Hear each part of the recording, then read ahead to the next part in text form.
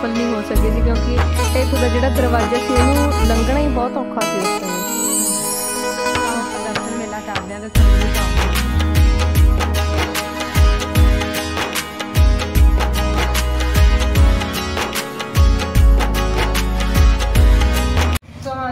ਸਾਰਿਆਂ ਨੂੰ ਇੱਕ ਗੱਲ ਹੋਰ ਦੱਸਣੀ ਸੀ, ਜੋ ਗੁਰੂ ਘਰ ਦਾ ਮਤਲਬ ਡਿਜ਼ਾਈਨ ਬਣਾਇਆ ਹੋਇਆ ਹੈ, ਉਹ ਓਕਟਾਗਨਲ ਸ਼ੇਪ ਦੇ ਵਿੱਚ ਹੈ, ਜਿਹਨੂੰ ਆਪਾਂ ਪੰਜਾਬੀ ਵਿੱਚ ਅੱਠ ਭੁਜਾਵਾਂ ਵਾਲੀ ਸ਼ੇਪ ਨੂੰ ਕਹਿ ਦਿੰਦੇ ਆਂਗੇ ਉਸ ਆਕਾਰ ਵਿੱਚ ਬਣਾਇਆ ਹੈ। ਅੱਠ ਖੁੰਝੇ ਨੇ ਜੀ। ਸੋ ਦਰਸ਼ਨ ਮੇਲਾ ਕਰਕੇ ਸਾਨੂੰ ਬਹੁਤ ਵਧੀਆ ਲੱਗਿਆ ਲੱਗਿਆ ਬਹੁਤ ਸਕੂਨ ਮਿਲਿਆ ਬਹੁਤ ਹੀ ਵਧੀਆ ਮਾਤ ਬਣਾਈ ਹਾਂਜੀ ਤੁਸੀਂ ਜਦੋਂ ਵੀ ਅਨੰਦਪੁਰ ਸਾਹਿਬ ਵਿਖੇ ਪਹੁੰਚੋ ਤਾਂ ਇਸ ਜਗ੍ਹਾ ਤੇ ਤੁਸੀਂ ਦਰਸ਼ਨ ਜ਼ਰੂਰ ਕਰਕੇ ਜਾਇਓ ਜੀ। ਸੋ ਵਾਹਿਗੁਰੂ ਜੀ ਕਾ ਖਾਲਸਾ ਵਾਹਿਗੁਰੂ ਜੀ ਕੀ ਫਤਿਹ।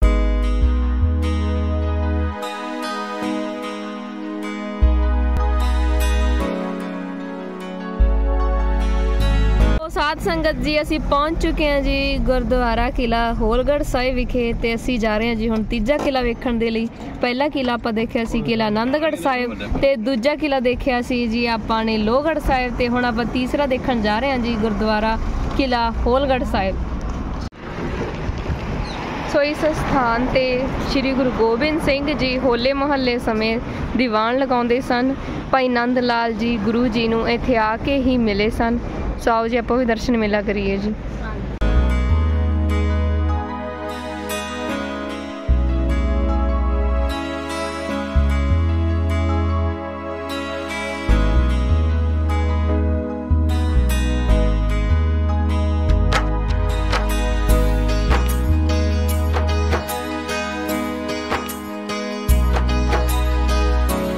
ਵਾਹਿਗੁਰੂ ਜੀ ਕੀ ਫਤਿਹ।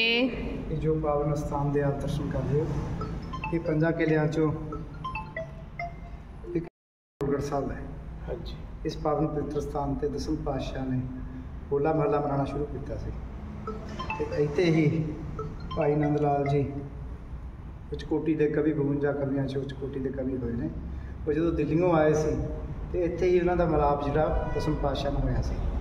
ਤੇ ਹੁਣ ਵੀ ਜਿਹੜਾ ਹੋਲਾ ਮਹੱਲਾ ਦੀ ਸਮਾਪਤੀ ਹੈ ਉਹ ਇਸ ਕਿਲੇ ਤੇ ਹੁੰਦੀ ਹੈ।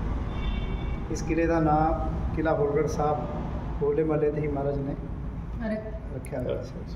ਵਾਹਿਗੁਰੂ ਜੀ ਕਾ ਖਾਲਸਾ। ਵਾਹਿਗੁਰੂ ਜੀ ਕੀ ਫਤਿਹ। ਜਿੱਥੇ ਉਹ ਪਾਵਨ ਪਵਿੱਤਰ ਸਥਾਨ ਤੇ ਆਪਣਾ ਤਿੰਨ ਸਾਹਿਬਜ਼ਾਦਿਆਂ ਦਾ ਜਨਮ ਤੇ ਹੋਇਆ ਸੀ। ਤੇ ਦਸਮ ਪਾਤਸ਼ਾਹ ਦਾ ਜਿਹੜਾ ਇਹਦਾ ਜਦੋਂ ਬਰਾਤ ਗਈ ਸੀ ਉਹ ਵੀ ਭੋਰਾ ਸਾਹਿਬ ਤੋਂ ਹੀ ਗੁਰੂ ਕੇ ਲੋਰ ਨੂੰ ਤੋਂ ਬਿਆਨ ਗਏ ਸੀ।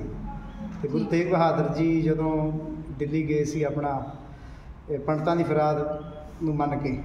ਉਹ ਵੀ ਉਹ ਭੋਰਾ ਸਾਹਿਬ ਗੁਰਦੁਆਰੇ ਤੋਂ ਹੀ ਉੱਥੋਂ ਉਹਨਾਂ ਨੇ ਚਾਲੇ ਪਾਏ ਸੀ ਦਿੱਲੀ ਵਾਲ ਤੇ ਗੁਰਦੁਆਰਾ ਸੀਸਗੰਜ ਸਾਹਿਬ ਤੇ ਜਿਹੜਾ ਸੀਸਗੰਜ ਸਾਹਿਬ ਹੈ ਉਹ ਭਾਈ ਜੇਤਾ ਜੀ ਨੇ ਜਦੋਂ ਦਿੱਲੀੋਂ ਸੀਸ ਮਹਾਰਾਜ ਦਾ ਲਿਆਂਦਾ ਸੀ ਤੇ ਪਹਿਲਾਂ ਉਹਨਾਂ ਨੇ ਕੀਰਤਪੁਰ ਸਾਹਿਬ ਗੁਰਦੁਆਰਾ ਭਵਾਨਗੜ੍ਹ ਹੈ ਇੱਕ ਰਾਤ ਉੱਥੇ ਰੱਖਿਆ। ਉਹ ਤੋਂ ਨਗਰ ਕੀਰਤਨ ਦੇ ਰੂਪ ਦੇ ਵਿੱਚ ਸਾਰੀ ਸੰਗਤ ਨੇ ਉਹ ਅਨੰਦਪੁਰ ਸਾਹਿਬ ਲਿਆ ਕੇ ਜਿਹੜਾ ਹੈਗਾ ਉਹਦਾ ਉਹਦੇ ਸੀਸ ਦਾ ਗੁਰੂ ਤੇਗ ਬਹਾਦਰ ਜੀ ਸੀਸ ਦਾ ਉੱਤੇ ਸੰਸਕਾਰ ਕੀਤਾ ਸੀ ਉਹ ਗੁਰਦੁਆਰਾ ਸੀਸਗੰਜ ਦਾ। ਠੀਕ ਹੈ ਬਾਬਾ ਵਾਹਿਗੁਰੂ ਜੀ ਕੀ ਫਤਿਹ। ਬਹੁਤ ਬਹੁਤ ਧੰਨਵਾਦ ਬਾਬਾ ਜੀ। ਤੁਸੀਂ ਇੰਨਾ ਸਾਨੂੰ ਆਪਣਾ ਟਾਈਮ ਦਿੱਤਾ ਕੀਮਤੀ। ਸੋ ਆਓ ਜੀ ਹੁਣ ਤੁਹਾਨੂੰ ਲੈ ਕੇ ਚੱਲਦੇ ਆਂਗੇ। ਬਾਬਾ ਜੀ ਨੇ ਜਿਹੜੀ ਜਿਹੜੀ ਅੱਗੇ ਜਗ੍ਹਾ ਦੱਸੀਆਂ ਨੇ ਸੋਨਾ ਦਰਸ਼ਨ ਮੇਲਾ ਕਰਦੇ ਹਾਂ ਅਸੀਂ ਦਰਸ਼ਨ ਕਰ ਲਏ ਜੀ, ਤੀਸਰੇ ਕਿਲੇ ਦੇ। ਜਿਵੇਂ ਕਿ ਤੁਹਾਨੂੰ ਦੱਸਿਆ ਸੀ, ਤਿੰਨ ਕਿਲੇ ਦੇਖ ਲਏ ਤੇ ਤੁਹਾਨੂੰ ਵੀ ਸਾਰਿਆਂ ਨੂੰ ਦਰਸ਼ਨ ਮੇਲਾ ਕਰਾਤਾ ਜੀ। ਸੋ ਪਾਪਾ, ਕਿਵੇਂ ਦਾ ਲੱਗ ਰਿਹਾ ਹੈਗਾ? ਤੇ ਸਾਡੇ 2 ਕਿਲੇ ਰਹਿ ਗਏ ਤੇ 2 ਕਿਲੇ ਵੀ ਅਸੀਂ ਅੱਜ ਕਵਰ ਕਰ ਲੈਣੇ ਨੇ, ਅੱਜ ਦਰਸ਼ਨ ਮੇਲਾ ਕਰ ਲੈਣਾ ਤੇ ਤੁਹਾਨੂੰ ਸਾਰਿਆਂ ਨੂੰ ਵੀ ਦਰਸ਼ਨ ਮੇਲਾ ਕਰਵਾ ਦੇਣਾ। ਸੋ ਬਹੁਤ ਹੀ ਵਧੀਆ ਲੱਗਿਆ। ਹਰ ਇੱਕ ਜਗ੍ਹਾ ਤੇ ਜਾ ਕੇ ਜਿੱਥੇ ਆਪਣੇ ਸਿੱਖਾਂ ਦੇ 10ਵੇਂ ਗੁਰੂ ਸ੍ਰੀ ਗੁਰੂ ਗੋਬਿੰਦ ਸਾਹਿਬ ਜੀ ਦੀ ਚਰਨ ਛੋਹ ਪ੍ਰਾਪਤ ਹੈ ਸੋ ਬਹੁਤ ਹੀ ਵਧੀਆ ਹੋਲੇ ਮਹੱਲੇ ਦਾ ਇੱਥੇ ਤਿਹਾਰ ਬੜੀ ਹੀ ਸ਼ਰਧਾ ਨਾਲ ਤੇ ਪਾਵਨ ਪਵਿੱਤਰ ਤਰੀਕੇ ਨਾਲ ਮਨਾਇਆ ਜਾਂਦਾ ਸੋ ਤੁਸੀਂ ਜਦੋਂ ਵੀ ਅਨੰਦਪੁਰ ਸਾਹਿਬ ਆਓ ਤਾਂ ਇਸ ਜਗ੍ਹਾ ਤੇ ਤੁਸੀਂ ਜ਼ਰੂਰ ਦਰਸ਼ਨ ਕਰਕੇ ਜਾਇਓ। ਵਾਹਿਗੁਰੂ ਜੀ ਕਾ ਖਾਲਸਾ ਵਾਹਿਗੁਰੂ ਜੀ ਕੀ ਫਤਿਹ। ਅਸੀਂ ਪਹੁੰਚ ਚੁੱਕੇ ਹਾਂ ਜੀ ਗੁਰਦੁਆਰਾ ਸਾਹਿਬ ਮਾਤਾ ਜੀਤ ਕੌਰ ਜੀ ਦੇ ਅਸਥਾਨ ਤੇ ਅਗੰਮਪੁਰ ਜੋ ਕਿ ਅਨੰਦਪੁਰ ਸਾਹਿਬ ਦੇ ਵਿੱਚ ਸਥਿਤ ਹੈ। ਸੋ ਆਓ ਜੀ ਦਰਸ਼ਨ ਮੇਲਾ ਕਰਵਾਉਂਦੇ ਆ ਤੁਹਾਨੂੰ ਇਸ ਜਗ੍ਹਾ ਦੇ।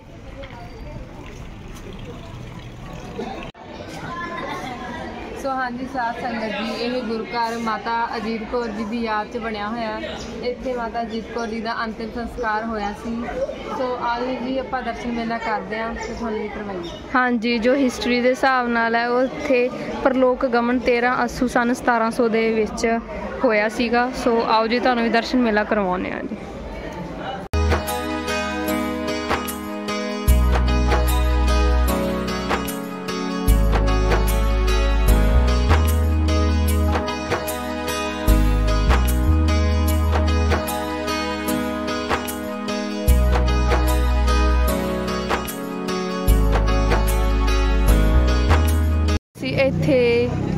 ਦਰਸ਼ਨ ਲਈ ਕਮਰਾ ਲਿਆ ਤੇ ਹੁਣ ਅਸੀਂ ਜਾ ਰਹੇ ਆਂਗੇ ਬਾਜ਼ਾਰ ਵਿੱਚ ਦੀ ਹੁੰਦੇ ਹੋਏ ਕਿਲਾ ਫਤਿਹਗੜ੍ਹ ਸਾਹਿਬ ਵੇਖਣ ਲਈ ਤੇ ਭੋਰਾ ਸਾਹਿਬ ਤੇ ਸ਼ੀਸ਼ਗੰਜ ਗੁਰੂ ਘਰ।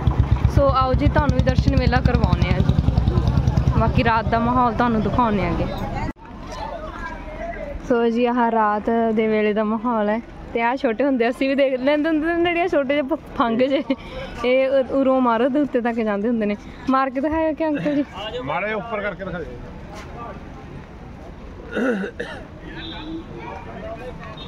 ਆ ਦੇਖੋ ਉੱਪਰ ਗਿਆ। ਹੈਲੀਕਾਪਟਰ। ਇਹ ਡੈਡੀ ਅਸੀਂ ਛੋਟੇ ਹੁੰਦੇ ਬਹੁਤ ਹੋ ਕਰਿਆ।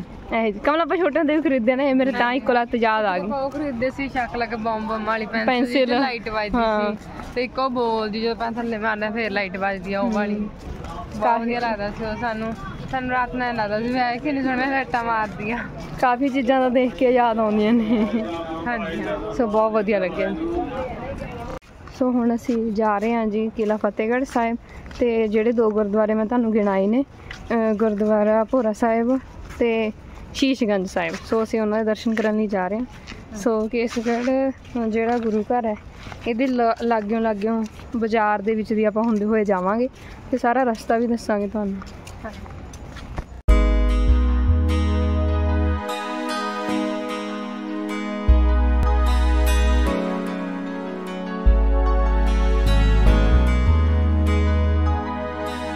ਲਿਖਿਆ ਹੋਇਆ ਜੀ ਗੁਰਦੁਆਰਾ ਸ਼ੀਸ਼ਗੰਜ ਸਾਹਿਬ, ਗੁਰਦੁਆਰਾ ਭੋਰਾ ਸਾਹਿਬ, ਗੁਰਦੁਆਰਾ ਕਿਲਾ ਫਤਿਹਗੜ੍ਹ ਸਾਹਿਬ। ਸੋ ਸਾਰੇ ਇੱਧਰਲੀ ਸਾਈਡ ਨੇ ਜੀ। ਸੋ ਆਪਾਂ ਜਾਂਦੇ ਆ ਤੇ ਤੁਹਾਨੂੰ ਵੀ ਦਰਸ਼ਨ ਮੇਲਾ ਕਰਵਾਉਣੇ। ਤਿਆਰੋਂ ਬਾਜ਼ਾਰ ਵੀ ਸਾਰਾ ਸਟਾਰਟ ਹੋ ਜਾਂਦਾ ਹੈਗਾ।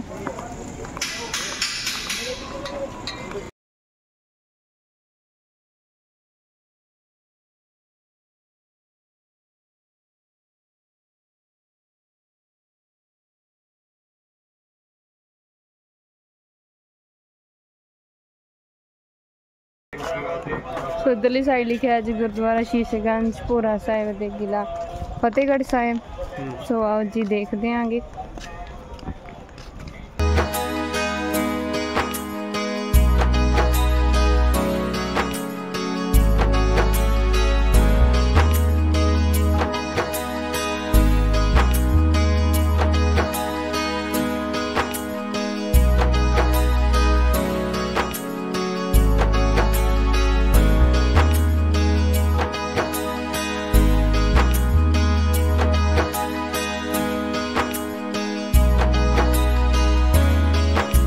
ਪਹੁੰਚ ਚੁੱਕੇ ਹਾਂ ਜੀ ਗੁਰਦੁਆਰਾ ਸ਼ੀਸ਼ਗੰਜ ਸਾਹਿਬ, ਸ਼੍ਰੀ ਅਨੰਦਪੁਰ ਸਾਹਿਬ ਵਿਖੇ ਤੇ ਤੁਹਾਨੂੰ ਦਿਖਾਉਂਦੇ ਆਂਗੇ ਦਰਸ਼ਨ ਮੇਲਾ ਕਰਵਾਉਂਦੇ ਆਂਗੇ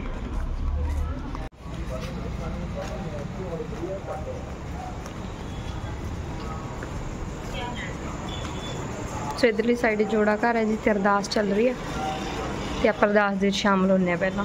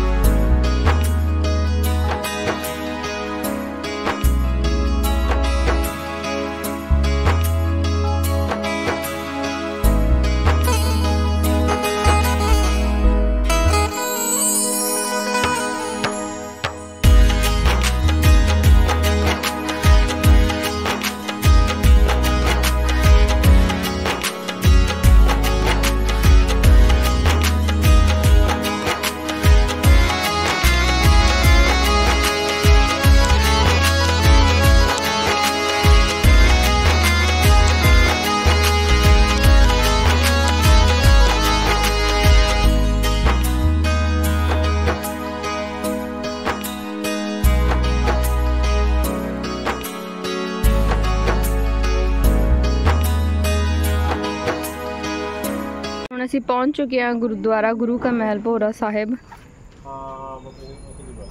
ਸੋ ਇੱਧਰ ਦੇਖੋ ਜੀ। ਤੁਹਾਨੂੰ ਵੀ ਦਰਸ਼ਨ ਮੇਲਾ ਕਰਵਾਉਣੇ ਆਂਗੇ। ਸੋ ਆ ਜਾਓ ਜੀ। ਸੋ ਅਸੀਂ ਪਹੁੰਚ ਚੁੱਕੇ ਹਾਂ ਜੀ ਗੁਰਦੁਆਰਾ ਗੁਰੂ ਕਾ ਮਹਿਲ।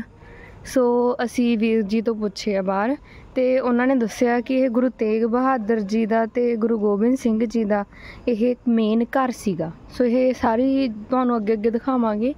ਹਰ ਇੱਕ ਚੀਜ਼ ਜੋ ਗੁਰੂ ਸਾਹਿਬ ਜੀ ਨਾਲ ਰਿਲੇਟਡ ਆ। ਸੋ ਤੁਹਾਨੂੰ ਦਿਖਾਵਾਂਗੇ ਜ਼ਰੂਰ। ਸੋ ਤੁਸੀਂ ਵੀ ਦਰਸ਼ਨ ਮੇਲਾ ਕਰ ਸਕਦੇ ਹੋ ਜੀ।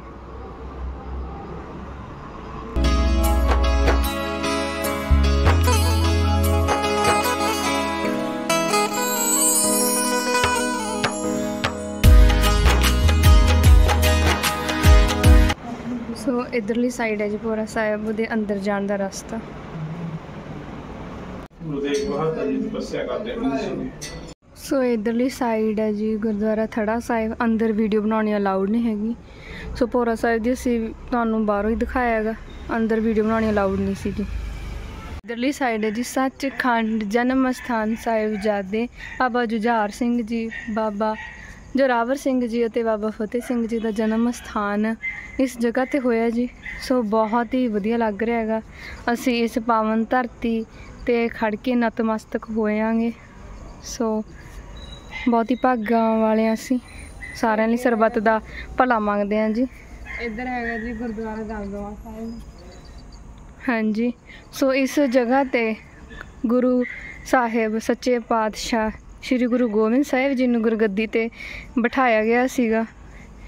ਤੇ ਇਹ ਅਸਥਾਨ ਸਾਹਿਬਜ਼ਾਦਿਆਂ ਦਾ ਜਨਮ ਸਥਾਨ ਹੈ ਜੀ। ਤੇ ਉਧਰਲੀ ਸਾਈਡ ਗੁਰਦੁਆਰਾ ਥੜਾ ਸਾਹਿਬ ਜਿੱਥੇ ਕਸ਼ਮੀਰੀ ਪੰਡਤ ਪਹੁੰਚੇ ਸਨ ਤੇ ਉਹਨਾਂ ਨੇ ਗੁਰੂ ਤੇਗ ਬਹਾਦਰ ਜੀ ਨੂੰ ਦੱਸਿਆ ਸੀ ਕਿ ਸਾਨੂੰ ਉਹ ਜਿਹੜੇ ਮੁਗਲ ਨੇ ਉਹ ਸਾਨੂੰ ਮੁਸਲਮਾਨਾਂ ਦੇ ਵਿੱਚ ਤਬਦੀਲ ਕਰਨਾ ਚਾਹੁੰਦੇ ਨੇ। ਪਰਿਵਰਤਨ ਕਰਵਾ ਰਹੇ ਨੇ ਸਾਡਾ। ਕਸ਼ਮੀਰੀ ਪੰਡਤ ਉਸ ਜਗ੍ਹਾ ਤੇ ਆਏ ਬਚਾਓ ਤੇ। ਕਸ਼ਮੀਰੀ ਪੰਡਤ ਉਰੇ ਫਰਿਆਦ ਲੈ ਕੇ ਆਏ ਸੀ ਗੁਰੂ ਤੇਗ ਬਹਾਦਰ ਜੀ ਕੋਲ। ਹਾਂਜੀ ਤੇ ਉਸ ਤੋਂ ਬਾਅਦ ਗੁਰੂ ਤੇਗ ਬਹਾਦਰ ਜਦੋਂ ਉਹਨਾਂ ਨੂੰ ਬਚਾਉਣ ਦੇ ਲਈ ਗਏ ਸੀਗੇ ਤੇ ਉਸ ਤੋਂ ਬਾਅਦ ਉਹਨਾਂ ਦਾ ਸ਼ੀਸ਼ ਹੀ ਆਇਆ ਸੀ ਪਰੰਤੂ ਉਹਨਾਂ ਨੇ ਆਪਣੇ ਧਰਮ ਨੂੰ ਬਚਾਉਣ ਦੇ ਲਈ ਆਪਣਾ ਸ਼ੀਸ਼ ਤੱਕ ਵੀ ਦੇ ਦਿੱਤਾ। ਜਿਸ ਕਰਕੇ ਉਹਨਾਂ ਨੂੰ ਜੀ ਹਿੰਦ ਦੀ ਚਾਦਰ ਵੀ ਕਿਹਾ ਜਾਂਦਾ। ਹਾਂਜੀ। ਮਤਲਬ ਜਿਨ੍ਹਾਂ ਨੇ ਹਿੰਦੂਆਂ ਦੀ ਰੱਖਿਆ ਕਰੀ ਹਿੰਦ ਦੀ ਚਾਦਰ ਤਾਂ ਹੀ ਕਿਹਾ ਜਾਂਦਾ। ਹਾਂਜੀ ਹਾਂ। ਸੋ ਬਹੁਤ ਹੀ ਵਧੀਆ ਲੱਗ ਰਿਹਾ ਜੀ। ਜਿਵੇਂ ਕਿ ਤੁਹਾਨੂੰ ਮੈਂ ਦੱਸਿਆ ਇਹ ਗੁਰਦੁਆਰਾ ਭੋਰਾ ਸਾਹਿਬ ਗੁਰੂ ਕਾ ਮਹਿਲ ਗੁਰੂ ਤੇਗ ਬਹਾਦਰ ਜੀ ਅਤੇ ਛੋਟੇ ਸਾਹਿਬਜ਼ਾਦਿਆਂ ਦਾ ਤੇ ਸੱਚੇ ਪਿਤਾ ਗੁਰੂ ਗੋਬਿੰਦ ਸਿੰਘ ਜੀ ਦਾ ਪੱਕਾ ਪਹਿਲਾਂ ਘਰ ਸੀਗਾ, ਇਹ ਘਰ ਮੰਨਿਆ ਮੇਨ ਘਰ ਅੱਜ ਵੀ ਇਹ ਮੰਨਿਆ ਜਾਂਦਾ ਹੈ ਜੀ। ਸੋ ਬਾਕੀ ਤਾਲੇ ਆਲੇ ਵਾਲੇ ਕਿਲੇ ਨੇ ਅ- ਸਾਡੇ ਦੋ ਕਿਲੇ ਰਹਿ ਗਏ, ਜਿਵੇਂ ਕਿ ਤੁਹਾਨੂੰ ਅਸੀਂ ਦੱਸਿਆ। ਅਸੀਂ ਕਿਲਾ ਆਨੰਦਗੜ੍ਹ ਸਾਹਿਬ ਦੇਖ ਲਿਆ, ਤੇ ਕਿਲਾ ਲੋਹਗੜ੍ਹ ਸਾਹਿਬ, ਤੇ ਕਿਲਾ ਹੋਲਗੜ੍ਹ ਸਾਹਿਬ, ਤੇ ਕਿਲਾ ਫਤਿਹਗੜ੍ਹ ਸਾਹਿਬ, ਤੇ ਤਾਰਾਗੜ੍ਹ ਸਾਹਿਬ ਰਹਿ ਗਏ ਸਾਡੇ। ਉਹ ਅਸੀਂ ਤੁਹਾਨੂੰ ਸਵੇਰੇ ਦਰਸ਼ਨ ਕਰਵਾਵਾਂਗੇ ਜੀ। ਇੱਕ ਗੱਲ ਹੋਰ, ਜਿਵੇਂ ਗੁਰੂ ਗੋਬਿੰਦ ਸਿੰਘ ਜੀ ਦੀ ਸਾਰੀਆਂ ਯਾਦਾਂ ਇਸ ਧਰਤੀ ਨਾਲ ਜੁੜੀਆਂ ਹੋਈਆਂ ਹਨ ਸੋ ਇਸ ਕਰਕੇ ਇਸ ਧਰਤੀ ਨੂੰ ਆਨੰਦਾਂ ਦੀ ਪੁਰੀ ਰਹਿਮਤਾਂ ਦੀ ਨਗਰੀ ਅਨੰਦਪੁਰ ਸਾਹਿਬ ਕਿਹਾ ਜਾਂਦਾ ਹੈ ਜੋ ਕਿ ਰੂਪਨਗਰ ਜ਼ਿਲ੍ਹੇ ਵਿੱਚ ਪੈਂਦੀ ਹੈ ਜੀ। ਹਾਂਜੀ ਬਾਕੀ ਤੁਹਾਨੂੰ ਅਸੀਂ ਅੰਦਰੋਂ ਵੀਡੀਓ ਨਹੀਂ ਬਣਾ ਸਕਦੇ ਜੋ ਇੱਥੇ ਦੇ ਰੂਲ ਨੇ ਹਰ ਇੱਕ ਚੀਜ਼ ਨੂੰ ਅਸੀਂ ਫੋਲੋ ਕਰਦੇ ਆਂਗੇ ਸੋ ਤੁਸੀਂ ਵੀ ਆ ਕੇ ਇੱਥੇ ਮੱਥਾ ਟੇਕੋ। ਦਰਸ਼ਨ ਮੇਲਾ ਕਰੋ। ਹਾਂਜੀ, ਹਾਂ। ਕਰੋ। ਬਹੁਤ ਆਤਮਾ ਨੂੰ ਸ਼ਾਂਤੀ ਮਿਲੀ ਹੋ ਰਿਹਾ ਹਾਂ। ਹਾਂਜੀ ਹਾਂ। ਤੇ ਟਾਈਮ ਤੋਂ ਟਾਈਮ ਕੱਢ ਕੇ ਹਰੇਕ ਨੂੰ ਆਉਣਾ ਚਾਹੀਦਾ। ਸੋ ਆਪਣੀ ਨਿਗਾਹਾਂ ਨਾਲ ਆਪਣੀਆਂ ਅੱਖਾਂ ਨਾਲ ਇਸ ਪਵਿੱਤਰ ਗੁਰੂ ਘਰ ਦੇ ਦਰਸ਼ਨ ਕਰੋ ਤੇ ਰੂਬਰੂ ਹੋ ਹਾਂ ਸੋ ਵਾਹਿਗੁਰੂ ਜੀ ਕਾ ਖਾਲਸਾ ਵਾਹਿਗੁਰੂ ਜੀ ਕੀ ਫਤਿਹ। ਸੋ ਹੁਣ ਅਸੀਂ ਇੱਥੋਂ ਜਾਂਦੇ ਆ ਜੀ ਵਾਪਸ ਆਪਣੇ ਸਰਾਵਾਂ ਵੱਲ। ਤੇ ਜਿਹੜਾ ਆਪਣੇ 2 ਕਿਲੇ ਰਹਿ ਗਏ ਉਹ ਤੁਹਾਨੂੰ ਸਵੇਰੇ ਦਰਸ਼ਨ ਕਰਵਾਵਾਂਗੇ ਜੀ ਜ਼ਰੂਰ। ਸੋ ਸਾਡੇ ਵਲੌਗਸ ਤੁਸੀਂ ਐਂਡ ਤੱਕ ਦੇਖਿਆ ਕਰੋ ਕੰਪਲੀਟ ਤਾਂ ਕਿ ਤੁਹਾਨੂੰ ਕੰਪਲੀਟ ਇਨਫੋਰਮੇਸ਼ਨ ਮਿਲ ਸਕੇ। ਹਾਂਜੀ।